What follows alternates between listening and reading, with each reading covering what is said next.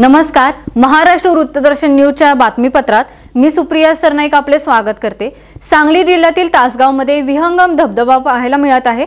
भैरववाडीच्या धबधब्याला बाहुबली सिनेमासारखा फील येत असून शेकडो पर्यटकांची गर्दी या ठिकाणी धबधबा पाहायला होत आहे. बाहुबली पिक्चरमधील अभिनेता प्रभास पिक्चरमधील जंगल धबधबा नद्या पर्वत यांच्या प्रेमात शेकडो प्रेक्षक पडले.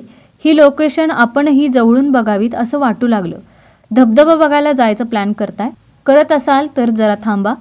तासगाव तालुक्यातील पर्यटकांना आता बाहेर कुठं जायची गरज नाही.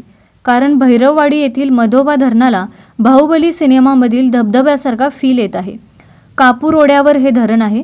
धरण बांधताना या ओढ्यावर बांधकाम टिकत नव्हते. म्हणून मधोबा माळी या शेतकऱ्याने तिथे समाधी घेतली.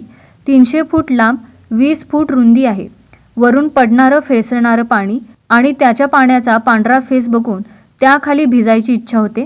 याचे धरणाचे फोटो सोशल मीडियावर धुमाकूळ घालत आहेत. त्यामुळे पर्यटकांची पावलं भैरववाडी गावाकडे वळत आहेत. तासगावपासून फक्त सात किलोमीटर अंतरावर असलेला हा धबधबा बघाच. मधोबा धरण हे भैरववाडी तालुका तासगाव जिल्हा सांगली सांगली जिल्ह्याचे विद्यमान खासदार संजय काका यांचं मूळ गाव.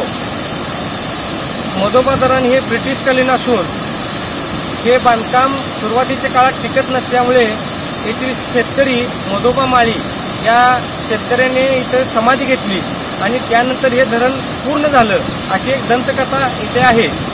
गेल्या चार वर्षात जलसंधारणाचे काम आणि यंदा झालेला चांगला पाऊस यामुळे हे धरण ओव्हरफ्लो झालं असून इथं पर्यटकांची भरपूर गर्दी होत आहे.